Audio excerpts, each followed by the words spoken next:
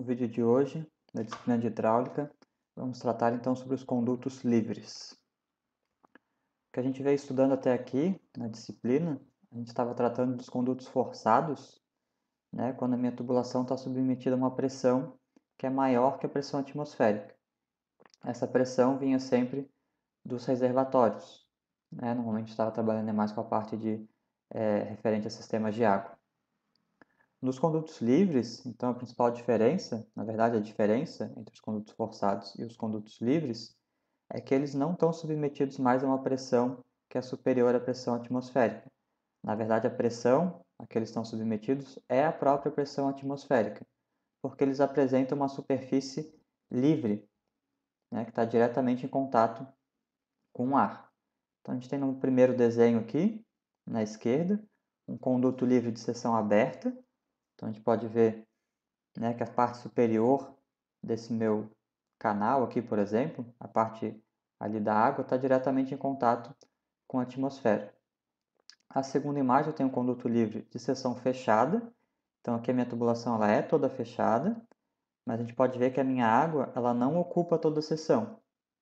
Esses desenhos como se fosse um corte né, de uma tubulação aqui de esgoto, por exemplo. Então essa minha água não ocupa toda a seção, também está em contato com o ar, então ali a pressão que é exercida é a própria pressão atmosférica.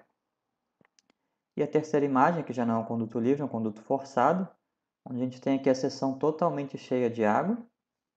Então aqui dentro a minha pressão vai ser a pressão exercida pela coluna de água que eu tenho acima desse ponto. Essa é uma rede de água, então a pressão que vem lá do reservatório, por conta daquela altura de água, vai ser o que vai determinar a pressão aqui nesse ponto, representada por essas flechinhas aqui em todas as direções do meu tubo, como a gente já estudou. Então, no conduto forçado, a nossa pressão é sempre maior do que a pressão atmosférica, porque eu tenho algum ponto a montante, né, que tem uma altura de água, que está fazendo com que eu tenha uma pressão maior nesse ponto. Então, os condutos livres se caracterizam justamente por ter a pressão igual à pressão atmosférica. Então, em que situações que a gente vai trabalhar com condutos livres? Na área do saneamento, então, principalmente aí com sistemas de drenagem pluvial e nas redes coletoras de esgoto. Então, esses dois sistemas, eles não funcionam sobre condutos, condutos forçados, como é o caso é, da parte de abastecimento de água. As tubulações, tanto de esgoto quanto de drenagem, elas são dimensionadas para que o líquido nunca ocupe totalmente a seção da tubulação. Então, a altura da lâmina de água é sempre inferior ao diâmetro da tubulação. Quando a gente trabalhar com tubulações fechadas, é isso que vai caracterizar os condutos livres. A água nunca pode ocupar totalmente a seção do meu tubo. Já quando eu trabalho com canal, aí, claro, os canais já não são fechados, são abertos na parte superior, então eu tenho sempre ali o contato direto com a atmosfera. Então, aqui nessa imagem à direita, a gente pode ver o corte transversal aqui. Então, minha tubulação fechada. E aqui essa parte rachurada indica a altura de líquido dentro da tubulação. Então, aqui eu tenho PI, sendo a pressão interna, e o PA, a pressão, a pressão atmosférica. Nesses casos, elas são iguais. Né? A pressão interna na tubulação é a própria pressão atmosférica. E aqui o corte longitudinal, a gente pode ver então também que essa minha água nunca ocupa toda a seção do tubo, então ela vai estar sempre ocupando só uma parte da tubulação. Quando a gente trabalhava com conduto forçado, é justamente a pressão que faz com que a água se desloque de um ponto A para o ponto B. Né? Os pontos de maior pressão vão fazendo com que a água se desloque até os pontos de menor pressão. Nesses sistemas que a gente trabalha com condutos livres, o que vai determinar o sentido do escoamento ou até como que esse escoamento vai se dar, é a declividade que a gente vai ter que impor a essas tubulações ou a esses canais. Então, a declividade, que a gente vai chamar de I, ou inclinação do conduto, é, ela é determinante, aí, principalmente nas obras de esgoto e de drenagem. Então, aqui no desenho à direita, a gente tem um esquema de como é que é representado num projeto é, um sistema coletor de esgoto. Então, depois vocês vão aprender com mais calma na disciplina de esgoto, mas o que vocês podem ver aqui é que a gente precisa saber a topografia do terreno, né? e principalmente as declividades e os comprimentos das tubulações, porque é isso que vai fazer com que o esgoto consiga ser transportado do ponto A até o ponto B.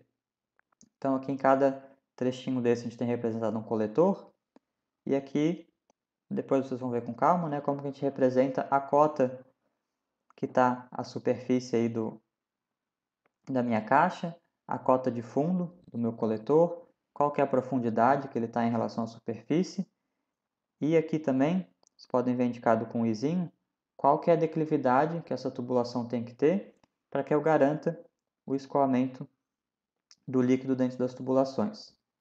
Então, nesses casos, onde a gente não trabalha com condutos forçados, conhecer a característica do terreno é super importante. Né? E definir exatamente quais vão ser as profundidades e as declividades dos coletores, tanto de esgoto quanto de drenagem, é o que vai fazer com que a minha obra funcione adequadamente ou não. Então, imagina colocar um coletor de esgoto que tem uma declividade que não é adequada. Então, posso ter ali é, um líquido que não consiga se deslocar, vai acabar ficando acumulado naquele trecho do meu coletor. Então, sempre que a gente trabalhar com condutos livres, a declividade vai ser um fator aí determinante no escoamento que eu vou ter nas minhas tubulações ou nos meus canais. Como é que a gente calcula então a declividade? A declividade expressa a diferença que eu vou ter, né, o desnível vertical que eu tenho na minha tubulação em relação à distância que eu estou estudando. Então, aqui no meu desenho, eu tenho um esquema de uma tubulação.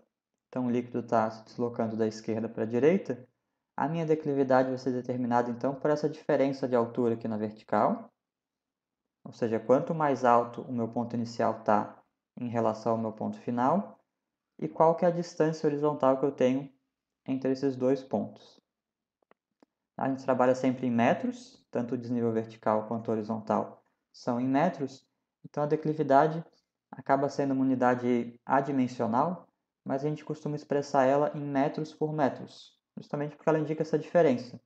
Né? Quantos metros eu estou baixando, digamos assim, a cada metro de comprimento que eu tenho.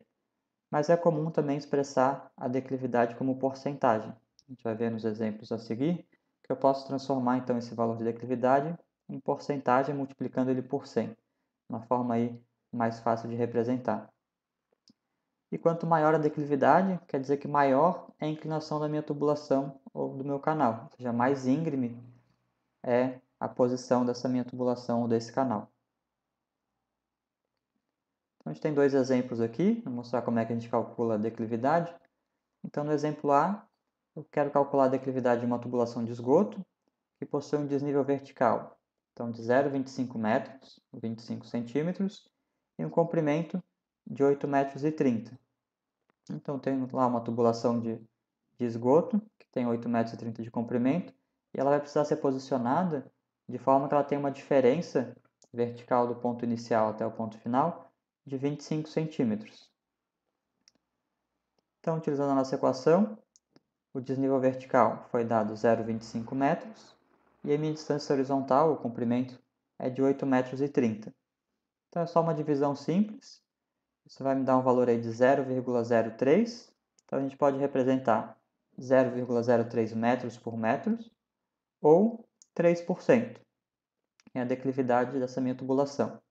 Né? Lembrando que para passar aí é, dessa unidade de metro por metro para a porcentagem, só preciso multiplicar por 100. No exemplo B, eu quero saber então qual a declividade de um canal, que tem aí um quilômetro e meio de extensão, sendo que a cota de fundo do canal no ponto inicial é de 42,90 metros e a cota de fundo no final do canal é de 26,45. Então essa é uma situação também bem comum, que a gente tem as cotas onde eu vou executar a minha obra. Então, eu preciso saber qual é a cota do terreno para poder calcular a minha declividade. Então, nesse caso, meu canal inicia ali na cota de 42,90 e essa cota tem que, claro, diminuindo para eu conseguir, né, do ponto inicial até o final, ela tem que ir descendo. Então, a cota no ponto 2 é menor e ela está expressa aqui em 26 metros e 45 centímetros. Então, a mesma conta, bem simples, só cuidar com a unidade, né? eu não posso trabalhar com quilômetro em uma parte da equação e metro na outra. Então, para saber o desnível vertical, primeiro eu tenho que fazer a diferença das cotas. Então, eu vou diminuir 42,90 de 26,45. Isso vai me dar qual que é a diferença de altura. E a extensão do meu canal foi dado, só não posso trabalhar em quilômetros, passar para metros, então um quilômetro e meio são 1.500 metros. Então, nesse caso aqui, eu vou ter uma declividade de 0,01 metros por metros ou 1%. Então, a gente pode observar aqui que o exemplo A, eu tenho uma declividade maior do que no exemplo B. Ou seja, essa minha tubulação de esgoto está um pouco mais inclinada do que o meu canal representado no item B. Esse cálculo é bem tranquilo, só fiquem atentos aí às unidades. E para passar para a porcentagem, só multiplicar por 100. Então, assim como a gente já viu lá nos condutos forçados, a gente tem diferentes tipos de escoamento, são os mesmos tipos para os condutos livres, tá? que não muda nada. A gente já viu lá que o meu escoamento eu posso ter uma vazão constante ou uma vazão variável. Quando a minha vazão é constante, eu chamo de permanente, esse meu escoamento. E quando a minha vazão varia, ele é não permanente.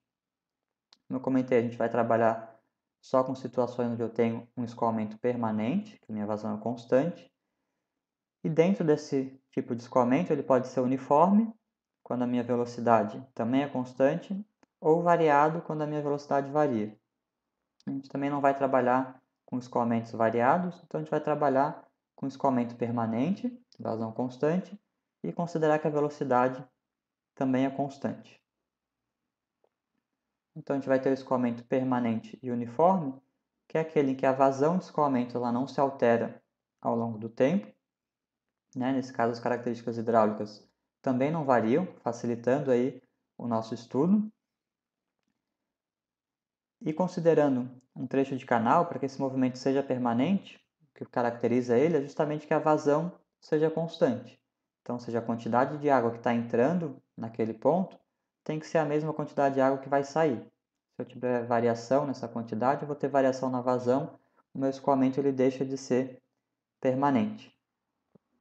Então, quando eu tenho canais com a mesma forma geométrica, mesma seção, mesma rugosidade do material e declividade, eu vou conseguir manter a mesma altura de água e a mesma velocidade também de escoamento. Então, eu não vario a seção, não vario as características do canal, além de eu ter uma vazão constante, eu tenho também uma velocidade de escoamento constante.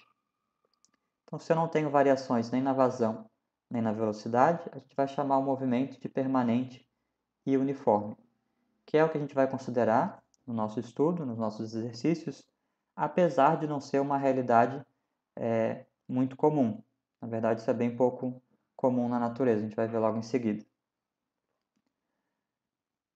Então, aqui só um conceito para vocês entenderem também como é que é feito um pouco dos cálculos aí com condutos livres.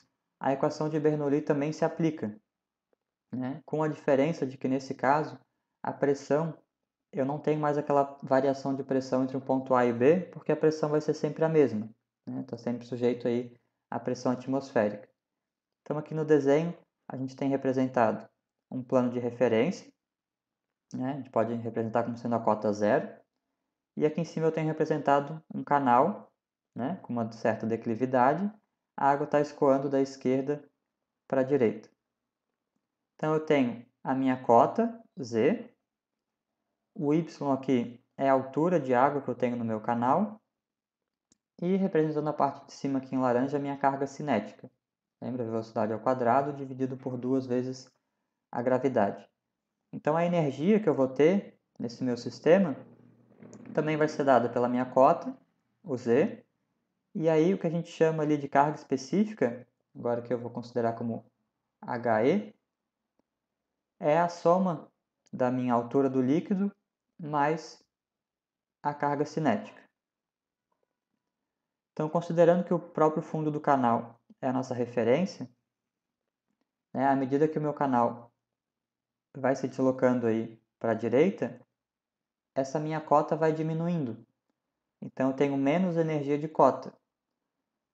Mas a gente considera que essa energia que foi perdida aqui de cota é a mesma energia que foi perdida pelas perdas de cargas devido ao atrito que a água vai sofrendo.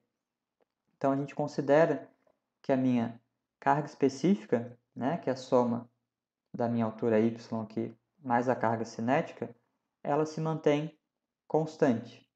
E as minhas perdas de cargas, elas vão ser equivalentes à diferença somente de cota que eu vou sofrendo ao longo do canal. Então, ou seja, a minha velocidade ela não vai variar e a minha altura de água também não vai variar. As perdas de carga vão ser equivalentes somente à diferença de altura que eu vou sofrendo ao longo do deslocamento. Isso seria o que caracteriza, caracterizaria um sistema aí permanente e uniforme. Então a vazão está sendo constante e a velocidade também está sendo constante. Então eu não tenho alteração aí da minha altura da linha de água. Na prática, esses canais aí uniformes, eles praticamente não existem. Né? Na natureza eu nunca vou ter uma seção totalmente regular, é, o mesmo tipo de material do fundo do canal, nem a mesma declividade ao longo de muito tempo.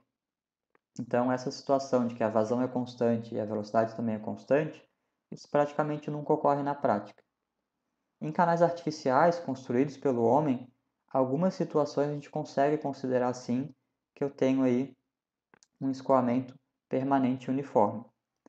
Mas são situações bem específicas. Eu preciso ter declividades bem baixas, essas declividades serem mantidas aí ao longo de muito tempo, e somente em alguns trechos, onde eu não tenha grandes variações.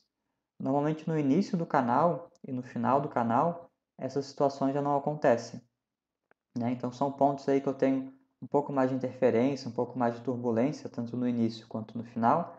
Então eu vou ter é, algumas variações ali nos parâmetros hidráulicos.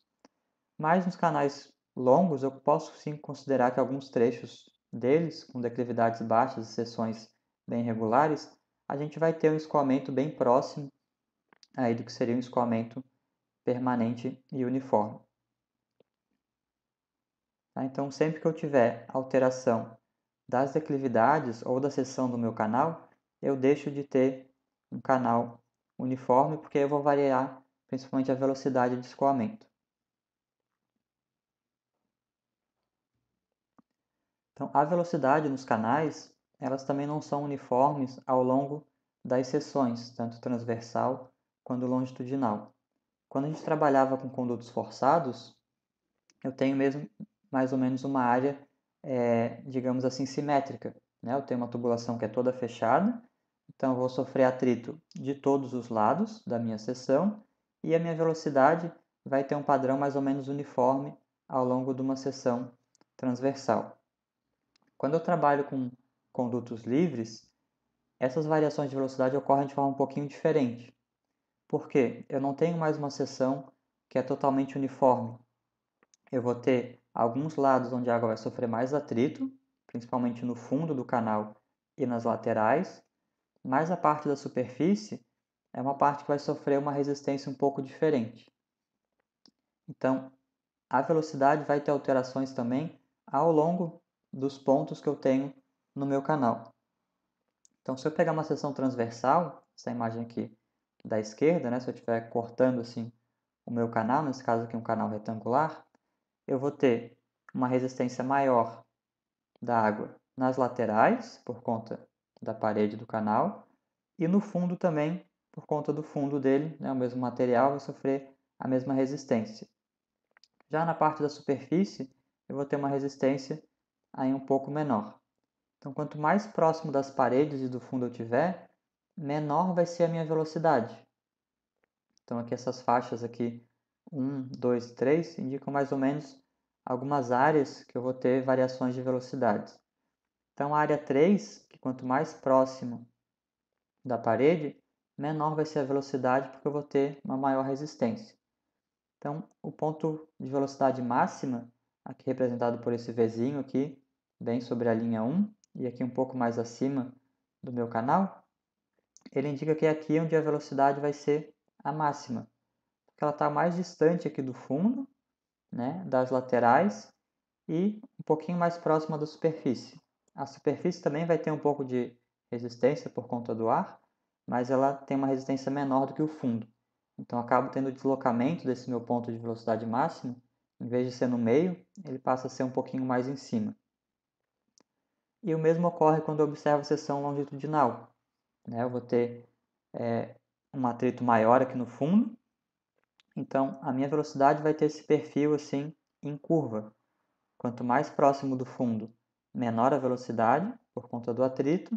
Essa velocidade vai aumentando à medida que eu vou vindo mais próximo da superfície, mas ela diminui um pouquinho aqui próximo à superfície, porque eu também vou ter uma resistência da atmosfera. Posso ter a pressão é, exercida aí por ventos, algumas alterações que vão acabar causando também mais atrito, mais resistência para esse deslocamento da água. Então a gente tem o que a gente chama de diagrama de velocidades, onde a gente consegue mais ou menos estimar a relação entre a velocidade máxima e a velocidade média de um canal. Então, aqui em azul a gente pode ver a profundidade do canal, e aqui em cima eu tenho expresso qual é a velocidade. Né? Aqui essa altura está considerando de 0 a 1, sendo 1 o fundo do canal, proporcional, né? e 0 aqui é a parte da superfície. E aqui a velocidade 1 como sendo a velocidade média, e essas variações 0,8, 0,6 ou 1,2 sempre em relação à velocidade média. Então o que a gente observa?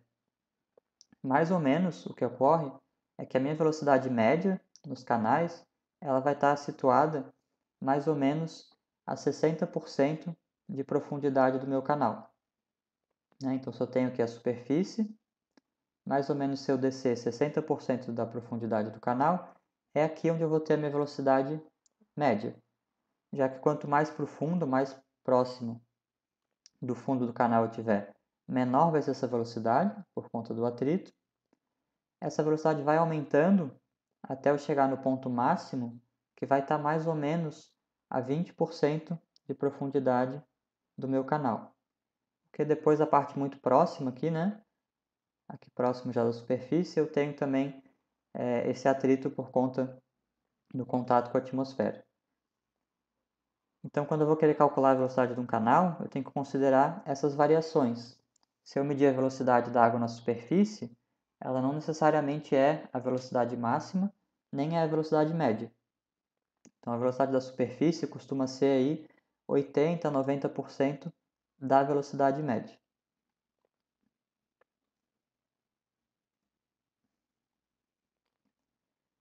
Então, quando a gente trabalha com condutos livres, um dos parâmetros mais importantes aí do nosso estudo é o conceito de raio hidráulico. Então, como os condutos podem ter formas bem variadas, a gente precisa de alguns parâmetros novos para fazer o estudo do escoamento de água. Então, o raio hidráulico ele vai considerar aí dois conceitos, o de área molhada e o de perímetro molhado. Então, a área molhada é a área útil de escoamento numa seção transversal, que é menor do que a área total do conduto. Então, isso fica bem claro quando eu tenho é, uma tubulação circular, um conduto é, um conduto livre, mas dentro de uma tubulação que é fechada. Como a água não ocupa toda a área da seção, a área molhada também não vai ser igual à área da tubulação. Então vocês têm que lembrar sempre que a área molhada é só a área do líquido. Então aqui na imagem de cima, ó, mesmo que o meu canal seja um pouquinho maior, né, eu tenho essa parte aqui preta um pouco para cima da linha vermelha, a área molhada eu vou calcular só a área que a água está ocupando nessa seção transversal. Então, se eu pegar o exemplo de baixo, que eu tenho uma tubulação circular fechada, a minha área molhada aqui não vai ser a área da circunferência, vai ser só a área representada pelo líquido em azul aqui. Então, a gente representa a área molhada como AM, e o perímetro molhado é a linha que delimita a área molhada junto às paredes e ao fundo do conduto. Então, não considero a superfície livre em contato com a atmosfera para calcular o meu perímetro molhado. Então, a figura de baixo aqui, na verdade, está representando o perímetro molhado, que é só essa linha vermelha. Ou seja, é só o comprimento que eu tenho da água em contato com a parede do meu canal, da minha tubulação. Então, não considero essa parte de cima aqui, a linha do líquido, para o meu cálculo do meu perímetro molhado. Tá? Tanto a área molhada quanto o perímetro molhado são importantes porque vão me informar qual que é a área que eu tenho de contato com as paredes que vai impactar bastante aí no atrito que eu vou ter da água com o meu material.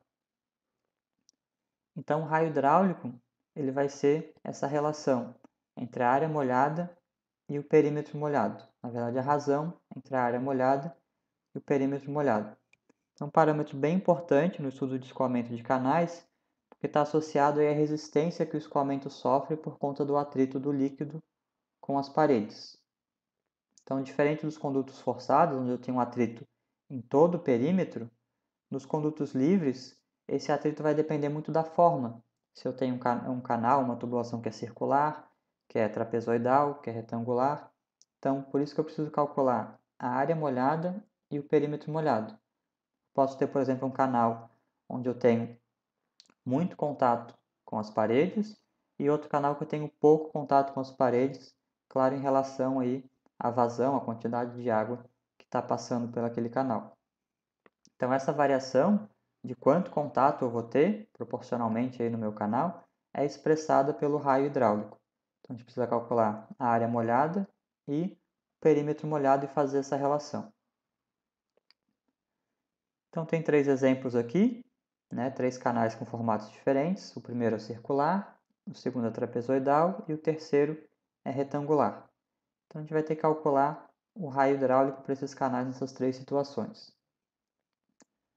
Então, começando no canal circular, então só lembrando vocês aqui em vermelho, a área de um círculo é πr ao quadrado e o perímetro de um círculo, de uma circunferência, é 2πr. Então, nessa figura, eu tenho uma tubulação que tem um diâmetro de 50 centímetros, mas ela não está totalmente cheia. Então, a gente vê indicado ali que a altura da água é de 25 centímetros. Ou seja, eu tenho metade da área preenchida com líquido. Então, meu raio hidráulico vai ser a área molhada dividido pelo perímetro molhado.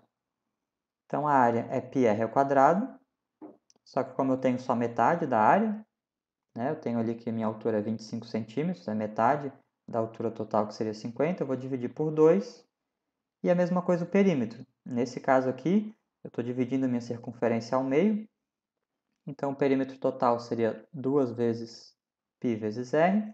Como eu tenho metade, eu também vou dividir por 2. A gente vai acabar ficando com π, 0,25 ao quadrado dividido por 2. E embaixo só o π vezes 0,25. Então, nesse caso aqui, o meu raio hidráulico vai ser de 0,12 metros. Num trapézio, o que, que a gente tem? Então, aqui foi indicado um trapézio. Aqui a base menor dele foi dada como 8 metros. Eu tenho 4 metros de altura. E aqui a parte superior dele eu tenho 3 metros para cada lado. Tenho 3 metros aqui, vou ter 3 metros do lado direito também. Então, a área de um trapézio a gente pode calcular como base menor mais a base maior, dividido por 2 vezes a altura. Tá? E o perímetro molhado a gente costuma ter que olhar para o desenho e ver qual que é o perímetro que está em contato aí é, da água com as paredes. Então, nesse caso aqui, eu tenho um trapézio, raio hidráulico, área molhada sobre perímetro molhado. A área eu posso calcular como base menor mais base maior sobre 2 vezes a altura. Então, nesse caso aqui, minha base menor é 8. Minha base maior vai ser 8, aí eu tenho 3 de cada lado, né? 3 aqui do lado esquerdo, 3 do lado direito. Então, 8 mais 6 dá 14. Então, tenho aqui a base menor 8, mais 14 dividido por 2 vezes 4. Essa minha área vai dar 44 metros quadrados. O perímetro molhado é só olhar no meu desenho aqui. Né? Foi dado que essa parte na diagonal tem 5 metros, então 5 metros do lado esquerdo, mais 8 metros de fundo, e mais 5 metros aqui do lado direito. Então, vou ter 5 mais 8 mais 5, vou ter 18. Então, reforçando que no perímetro molhado, eu não conto essa área aqui de cima do meu líquido, porque ela não está em contato com a parede. Né? Então, ela não vai impactar tanto ali é, no meu atrito. Então, nesse caso aqui, meu raio hidráulico vai ser 44 dividido por 18, vou ter 2,44 metros. E último caso, que costuma ser o mais simples, né, canais aí retangulares, vou também fazer a mesma conta, sendo que a área é a base vezes a largura, um lado vezes o outro. Né? Então, nesse caso aqui, a área molhada é 6 vezes 4, que vai dar a área do meu, do meu líquido aqui. E o meu perímetro molhado, eu conto né, o perímetro que está em contato, que a água está em contato com as paredes e com o fundo. Então, 4 metros aqui na direita, 6 metros de fundo, mais 4 metros aqui na esquerda, eu vou ter 14 metros de perímetro molhado. Lembrando que eu não considero a parte superior, porque ela não está em contato com as paredes do meu canal ou da minha tubulação. Então, nesse caso aqui, meu raio hidráulico vai ser 24 sobre 14, 1,7 metros.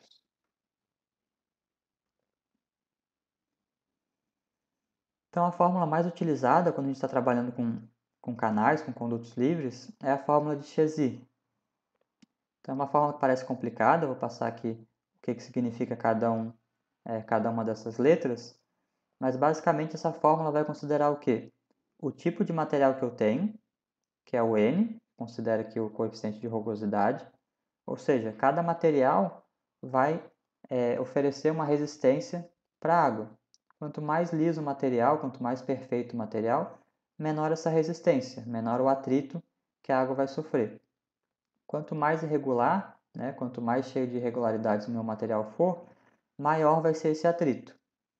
Então, aqui na tabela direita, a gente tem diferentes materiais, né, o tipo de conduto, se é cerâmico, concreto, PVC, ferro fundido, etc. E o coeficiente de rugosidade N. Então, vocês podem ver que quem tem o valor menor é o PVC, os materiais aí mais lisos, né?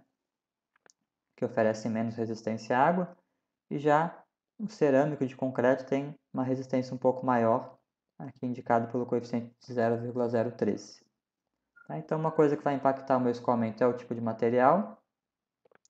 A outra que a gente viu é o raio molhado, ah, desculpa, o raio hidráulico e a área do canal, a área molhada. Então, eu tenho aqui à direita da equação a área e o raio hidráulico. Então, o raio hidráulico é elevado a 2 terços.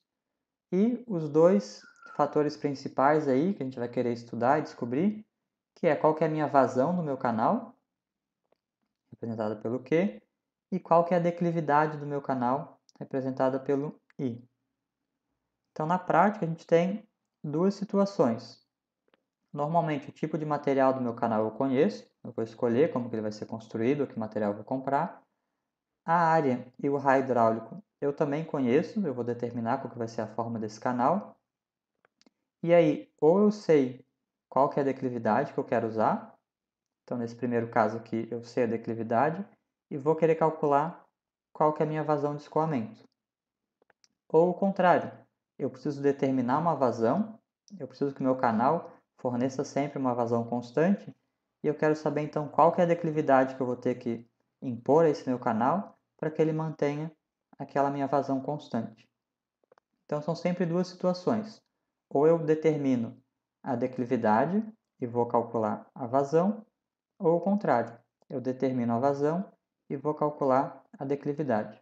Isso vai depender muito da situação, né? Se eu tenho uma declividade que vai ser determinada pelo meu terreno, então eu adoto a declividade do terreno e vou calcular qual vai ser a vazão ou eu preciso de uma vazão constante, preciso de uma vazão determinada, e vou ver qual que vai ser a declividade que eu vou ter que construir para essa minha situação. Então, a fórmula de Chezy pode ser representada de duas formas. Eu só isolei aí as duas partes que a gente vai estar tá interessado em estudar. Então, quando eu tenho a vazão isolada, ela vai ser igual à área vezes o raio hidráulico, elevado a 2 terços, a raiz da minha declividade, dividido pelo meu coeficiente de rugosidade n. Ou, se eu quiser calcular a declividade, Aí vai ser a vazão vezes o coeficiente de rugosidade, tudo isso dividido pela área vezes o raio hidráulico elevado a 2 terços, todo o resultado dessa conta aqui elevado ao quadrado. Então, só tomem cuidado no cálculo aqui da declividade para fazer passo a passo, né, na ordem correta, não acabar errando nas contas. Então, tem dois exercícios que eu vou deixar para vocês fazerem. Então, tem duas situações.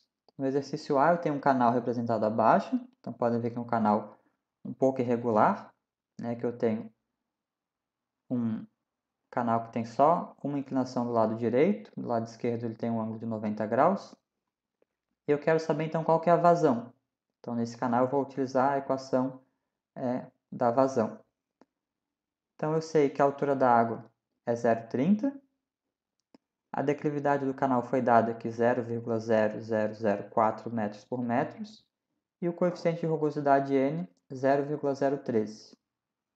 Então aqui vocês vão ter que calcular a área molhada, o perímetro molhado, para calcular o raio hidráulico e colocar na equação. Tá? Quando vocês tiverem uma figura assim irregular, para calcular a área, vocês podem calcular separado. Né? Então, pode calcular a área de um retângulo, seria aqui 3 vezes 0,3, desculpa, vezes 1, e depois calcula separado essa áreazinha que eu tenho aqui, um triângulo.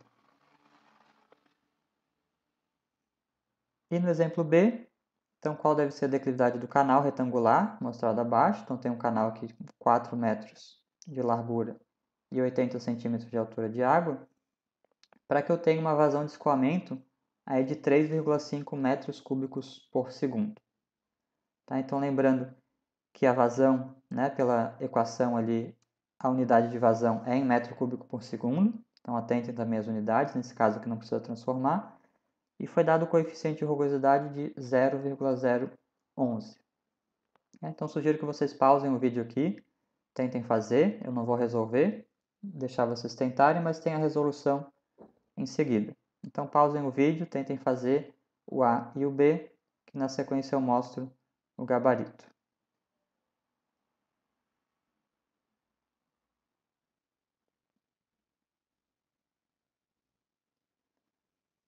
Aqui nós temos então o gabarito do exercício A, então com todas as partes, perímetro molhado, área molhada, o cálculo do raio hidráulico e o cálculo da vazão.